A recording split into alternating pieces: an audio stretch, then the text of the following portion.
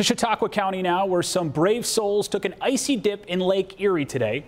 7 News reporter Ryan Arbogast has more on this polar plunge for charity and who will benefit from this event and how it's making a return after COVID 19.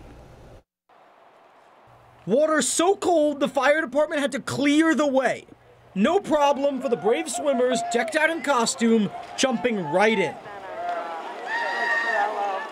This is the 20th year uh, for the Polar Bear Swim for, for charity down here, and, and uh, we're just happy to be here and uh, get a little cold, get a little wet for a great cause. 7 News caught up with longtime swimmer and state senator George Borrello and his buddies, still dripping wet, right after they took part in the Silver Creek Polar Bear Swim. How are you guys feeling right now?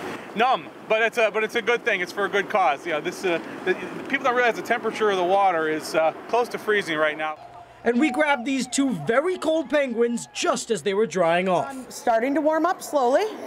Uh, my legs are still like icicles, but other than that, I'm getting better. The Polar Bear Swim raises money for Oishei Children's Hospital and local EMS and fire companies right here in Chautauqua County.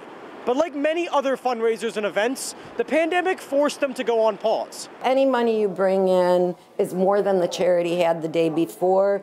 That's Pamela Forge on the right, who has been running the show from behind the scenes since day one back in 2000. But her co-chair Judy prefers a little more hands-on approach. Dressing up while she acts like that sub-zero water is a hot tub. I still wear my polar bear costume. And while the day of fun is over, there's more on the way come mid-August. The pair's newest brainchild is a chicken swim to represent all those too chicken to make the polar plunge. Ryan Arbogast, 7 News Silver Creek.